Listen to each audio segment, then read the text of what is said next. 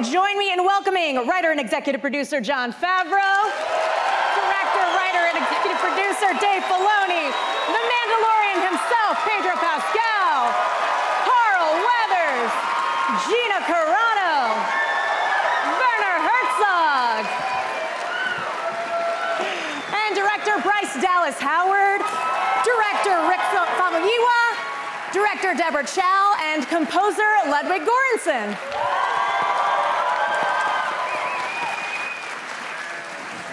It's exciting for so many people to see it at the same time, and it's exciting for us to be in front of an audience like this too, with uh, a few other episodes. We have the first three here. So if you've seen the first one, we got two more, and uh, we hope you like it. Yes. For the cast down here, when did you guys realize how big of a deal this show was going to be? At what point was it? I asked them, what do I have to audition for? You know, this creature, this robot, what? and and I'm not really a voiceover actor, you know what I mean? I was like giving them a whole spiel, and, and they looked confused, and they said, "You're the Mandalorian," and I was like, "They're asking me to be a part of something that is a really big deal." To answer your question. beautifully done, beautifully done. Now, Dave, there are a lot of people here that know a heck of a lot about the Mandalorians and their culture. Yes.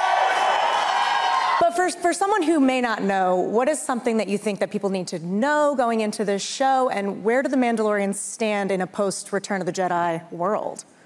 I think the beauty of this show, honestly, is that you, you don't really need to know anything uh, about Star Wars to enjoy it. If you know the Mandalorians are notoriously the greatest warriors in the galaxy and they'll fight you to prove it, then that that'll go a long way and you'll seem smarter at the start.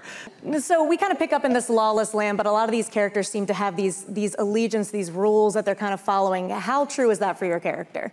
Well, I think my character, um, she goes a little bit rogue and she's a little bit of a loner. Um, and she finds herself, uh, I don't know, just on a planet, and that's where I meet the Mandalorian.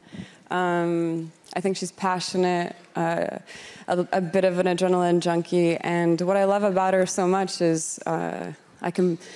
I can be so much stronger with her, and I believe in her, and I love, I love, absolutely love playing her. So thank you so much for writing her.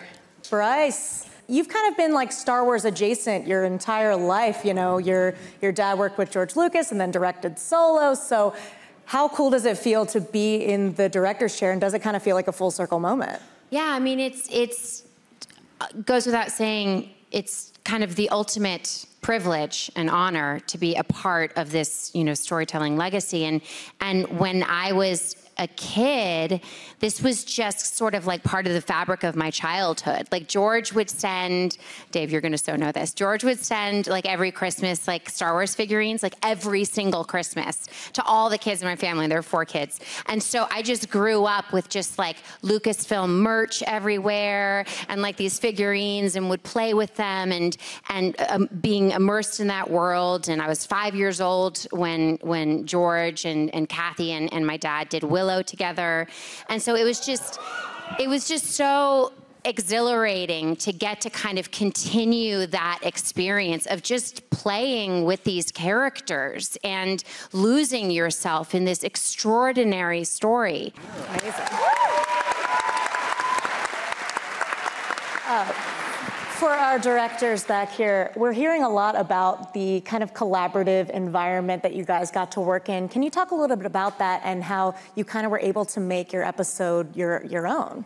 Yeah, it was a it was like Star Wars film camp. it was really pretty amazing. And and so when when Jon when I heard that Jon wanted to meet with me about this, I was like, "Have you seen Dope? Do you know? Have you seen my movies? Are you sure?" Um,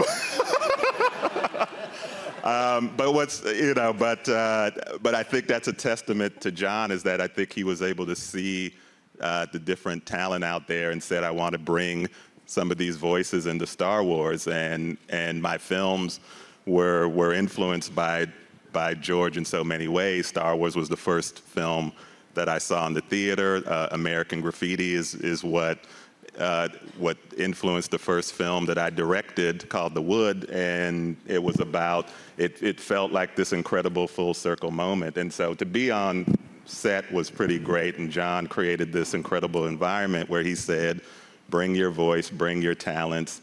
And then we all supported each other as we were, were making the film, and it was such a unique uh, creative filmmaking environment. I'm, I'm so proud to be a part of it, and, and thank you, Jon, for, for, for bringing us in and, uh, and doing the things you do, my friend. Deborah, anything to add to that wonderful sentiment? Uh, yeah, I think uh, everything Rick said. But um, what's interesting is usually as a director, you know, you don't get to interact with other directors very often. Um, you know, so I've done a lot of television, but you know, you're sort of passing ships, and you never get to actually kind of collaborate or work together. Um, so I think that was one of the things that was the most interesting and amazing on this show was that um, all of the directors really knew each other really well, and we were all collaborating and sort of involved in each other's work. Um, and so we were sort of a team, but at the same time, everything, everybody I think had their own voice, which is amazing. That's great. We have to talk about the outstanding music in this show, Ludwig.